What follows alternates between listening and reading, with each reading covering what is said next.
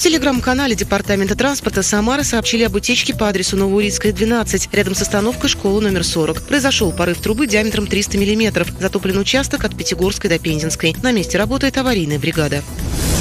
Департамент городского хозяйства и экологии в своем телеграм-канале сообщает о том, что ведутся работы по вывозу снега с Ленинградской и Партизанской.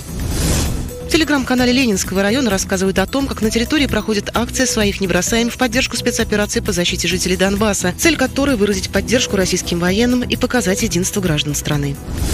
Такие акции сегодня проходят во всех районах города. В телеграм-канале Самарского района сообщают, что местные жители приняли эстафету танцевального флешмоба в поддержку военнослужащих, которые борются за мир и безопасность России. Кроме того, жители района, студенты колледжа приняли участие в фоточеллендже «Сила в правде».